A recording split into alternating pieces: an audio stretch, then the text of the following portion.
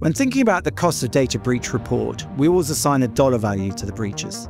Time and time again, when I'm working with organizations that have been hit by an incident and by bad actors, what I see is much more than that. I see the real human cost, that in the immediate aftermath, when we see these incidents, people go above and beyond, people work for uh, weeks and weeks at incredible hours to try and really try and make good what these threat actors have done to them. It's a really distressing thing, and often the human side of this is something we don't talk about very much.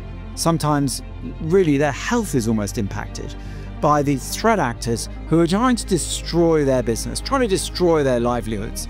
In some cases, organizations have gone out of business. Hundreds of jobs have been put at stake because of these types of incidents. My key takeaway when thinking about cybersecurity incidents, it's not just dollar signs, it's the human cost as well that is really impactful.